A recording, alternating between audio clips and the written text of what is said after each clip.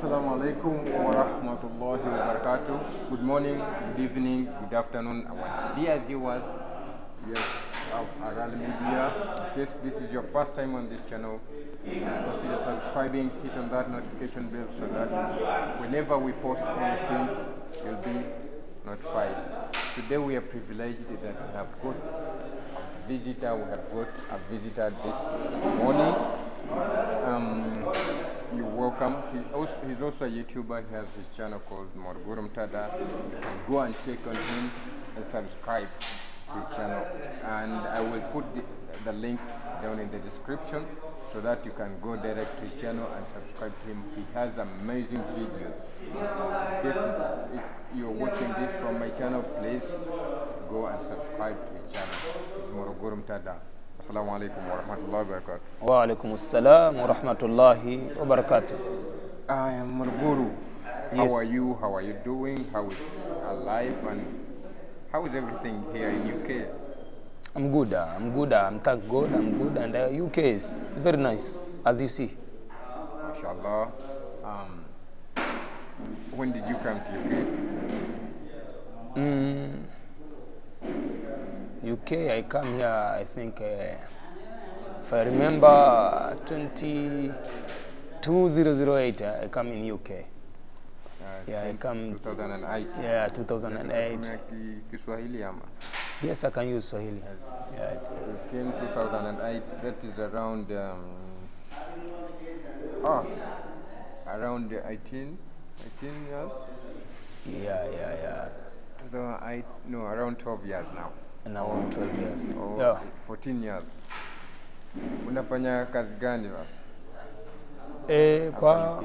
kwa hapa UK mimi nafanya tu kazi ya kawaida ambayo nilikuja kama mcheza show, nilikuja kama mcheza show. E, nikikumbuka nilikuja kama mcheza show wa acrobatic zamani nikiwa na Nata juu ya ulingo kabisa juu. kumbuka nilikuja kama mcheza show e, na miaka hiyo nilivyokuja kama mcheza show nikapiga show nadhani nikapiga show kama mara ya kwanza nikarudi nikakaa mwaka mmoja contract yangu ilikuwa ni ya mwaka kisha nikaja tena mwaka mwingine nilipofika mwaka wa tatu ndo nikaja nikapata nafasi ya kutulia kabisa huko Now you ulipata citizenship.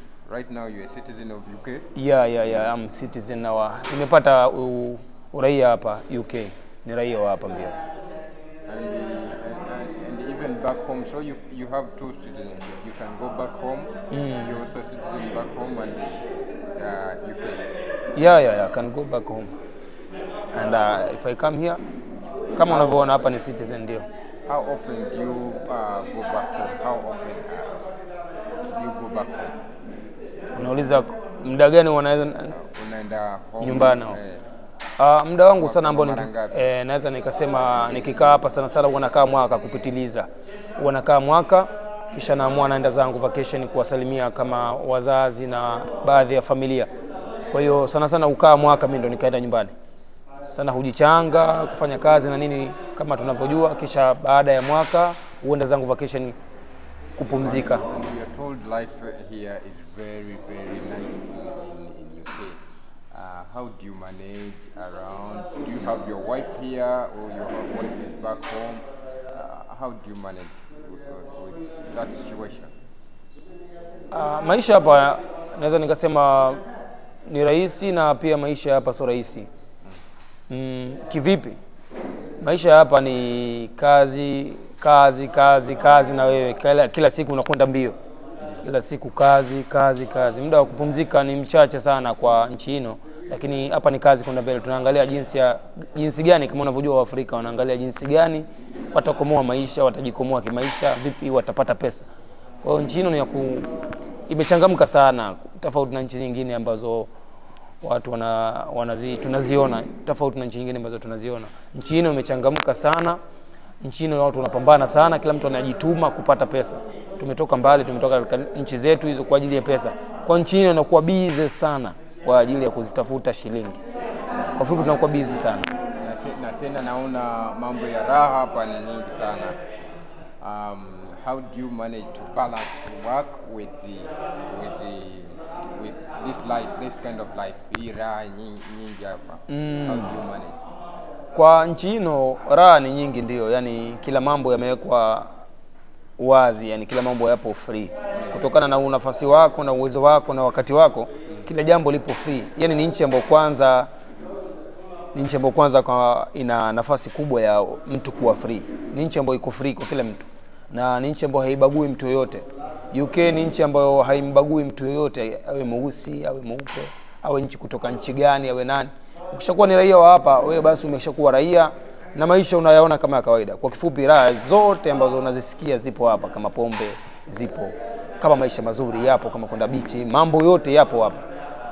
Now the other thing is, uh, uh, do you have your wife here? You, you left your wife back home, or you got another wife, um, a, white, a white girl? Um, how do you? Uh, how is it?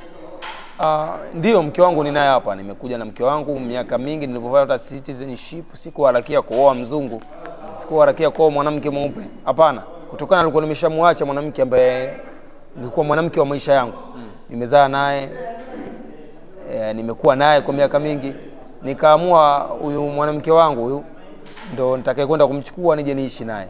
Kwa hiyo nilibahatika kufanya mambo hayo na nilimchukua mke wangu nikaja naye, ndo naishi naye hapa sasa hivi. Ni mke wangu kutoka Afrika.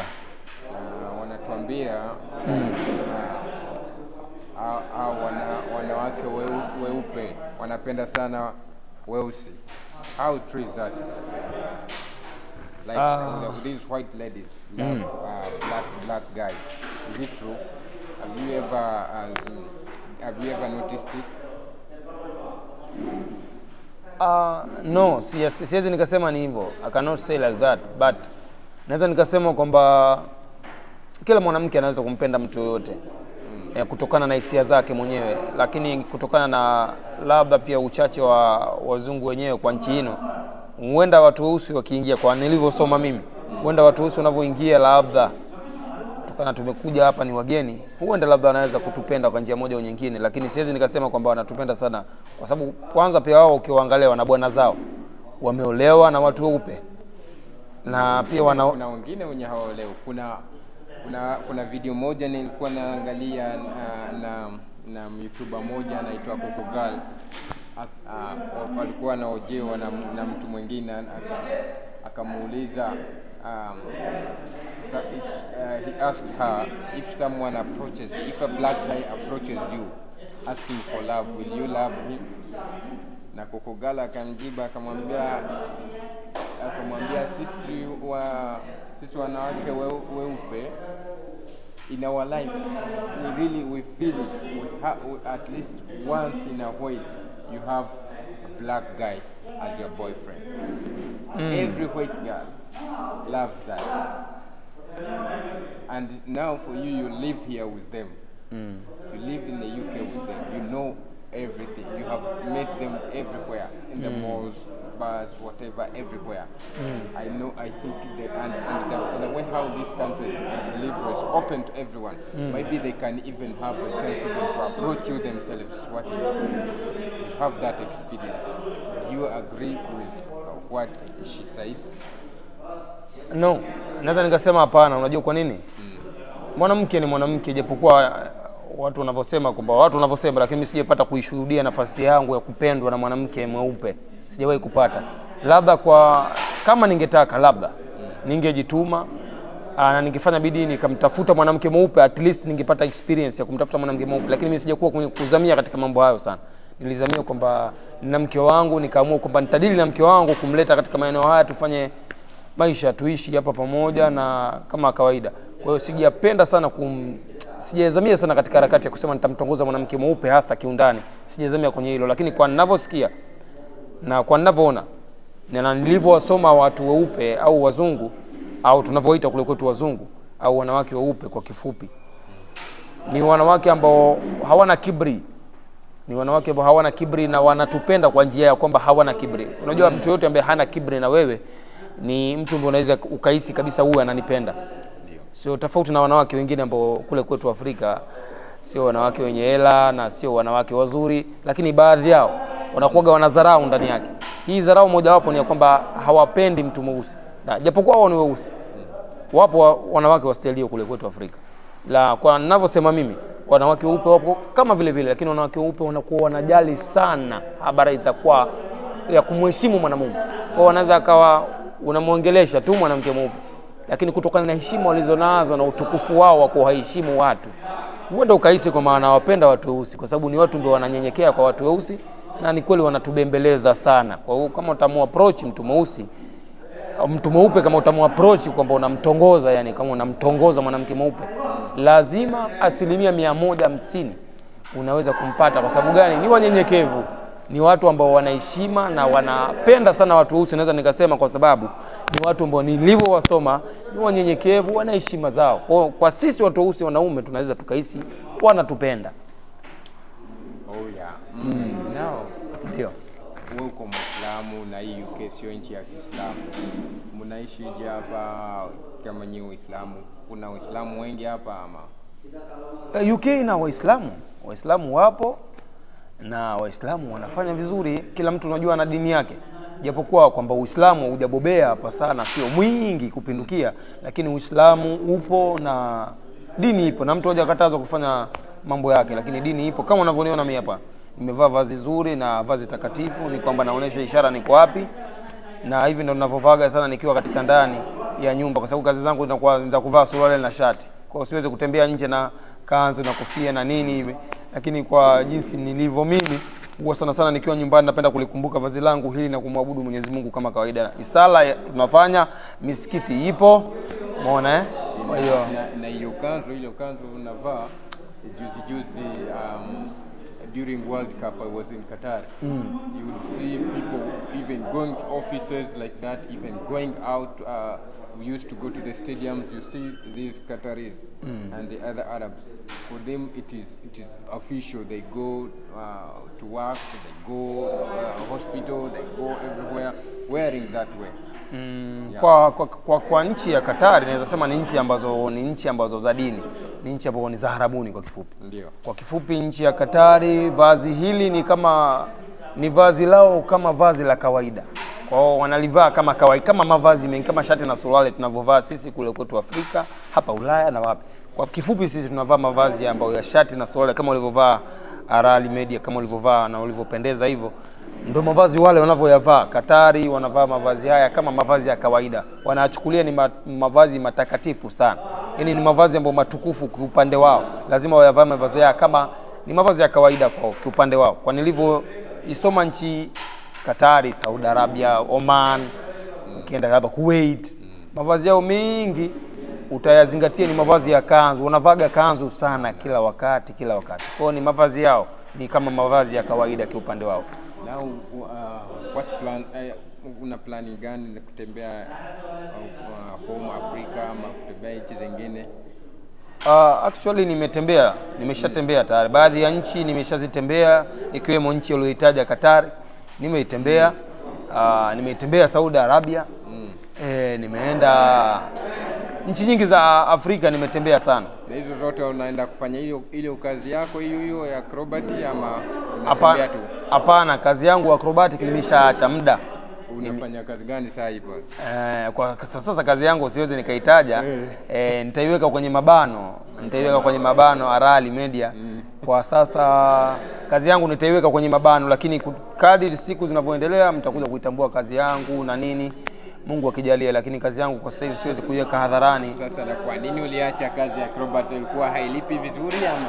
Hapana, kazi ya acrobatic ni kazi ambayo kwanza ni kazi nzuri sana mm. ni kazi ambayo kwamba ina faida nyingi sana na pia ndani yake ina afya njema, ina mazoezi. Unajua kazi yoyote ambayo unafanya mazoezi kwenye kazi yoyote, lazima kazi hiyo ina faida, sababu kwanza, jambo la kwanza unafanya zoezi, unajipa nguvu katika mazoezi yale. Lakini kazi hino, kwa nini nimeacha kazi hino? Nimeacha kwa sababu nilipata kazi nyingine, nikaamua kwa. Unajua huwezi kuacha kazi mpaka upanye nini? Upate kazi nyingine. Kwa hiyo nilipata kazi nyingine ambayo naona ina hela safi zaidi ya hino, lakini sio kwa acrobatic ilipo inalipa zaidi, lakini kutokana nilivyoona hela hino inanizidisha vizuri ya kufanya nitulie katika kazi hino, basi nikazamia, nikaachana na kazi hino, nikaingia katika kazi hino. Hiyo tu ndio ilikuwa changamoto.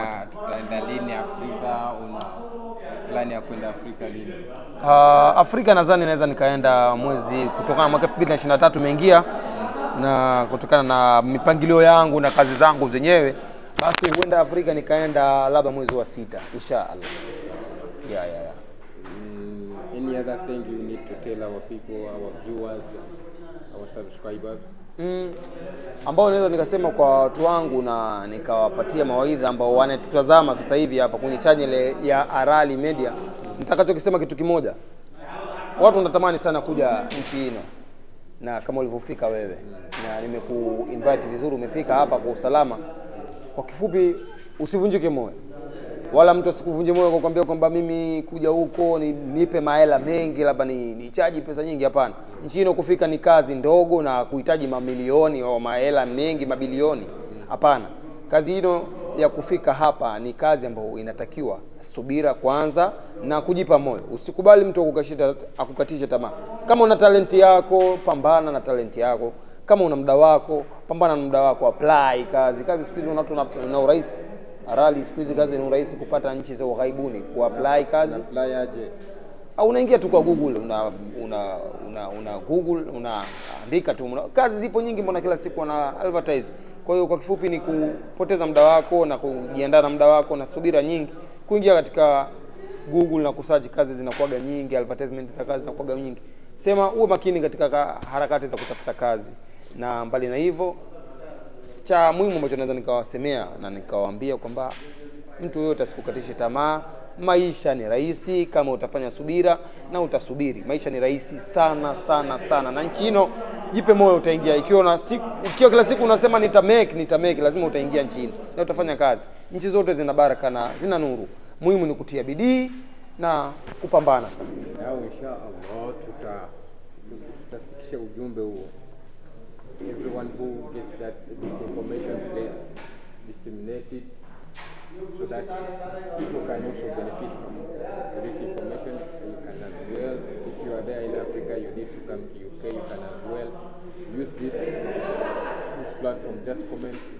comment section, and we shall, help you get where you want to go. Otherwise, I wish you the best. Um, and Mr. Abdullah, thank you very much for uh, uh, coming. Thank you for hosting me also. He's the one who, who hosted me, he's the one who bought for me the ticket, he's the one who actually paid for everything. The hotel where I, I stay, everything, he is my sponsor. And I think before I go back to Africa, I will again come back to do another video before I go back. I, otherwise, I wish you the best. In case this is your first time on the platform, please consider subscribing. Hit on that notification bell. See you in the next video. Wa alaikum salam. Thank you Arali Media. Welcome.